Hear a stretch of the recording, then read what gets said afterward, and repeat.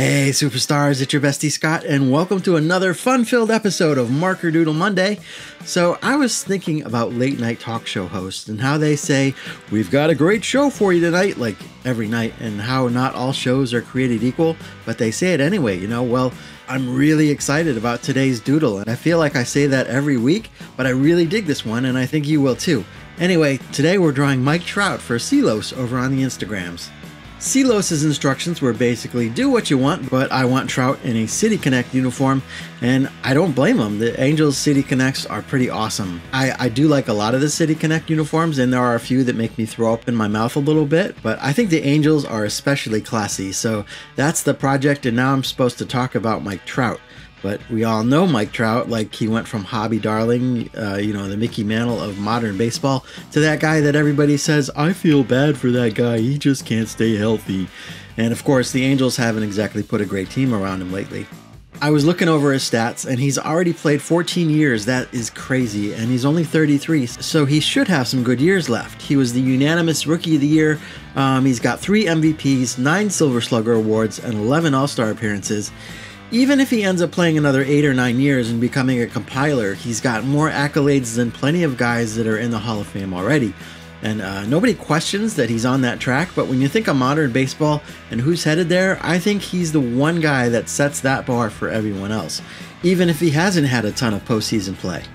Back to the task at hand, I went looking for reference photos and I came across a spring training photo of Trout signing autographs for fans, and I thought it was fun and I've never attempted something like this before. I'm sure he's not an easy autograph to get, so that's what really intrigued me about this image. And then I plopped the City Connect uniform on there, and uh, now is where I realized that I kind of made a mistake because uh, those red stripes on his right sleeve are actually supposed to be on the other sleeve. So I could either fib and tell you that I did that on purpose. It's an artistic choice because the stripes are a big part of the look of that jersey and, and, you wouldn't be able to see them on his left arm. Or I could own up to it and just admit my mistake. Um, I'm, I'm still thinking about how I want to handle that. Sometimes people get these doodles autographed, which is always fun to see. And if there ever was one that would be cool with some ink on it, it would be this one. But uh, I don't think that's very likely at all. But that would be so meta.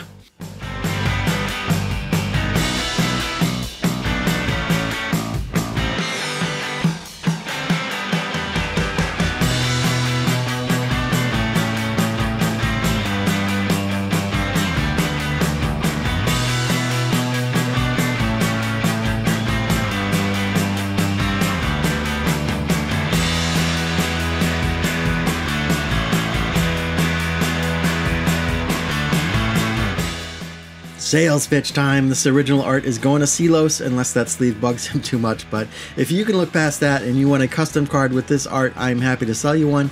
A limited number of those are available in my Etsy store right now while supplies last. Link is in the description below. As always, I've been having so much fun doing these and I really appreciate all of your support. Marker Doodle Mondays have been such a blessing and such a blast.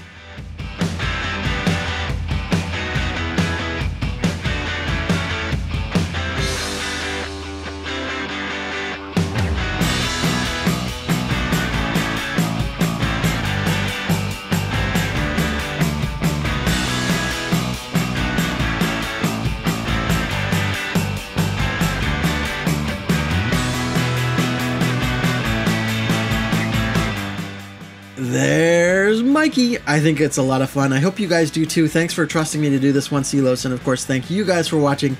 Now go find a better video to watch, and we'll see you real soon.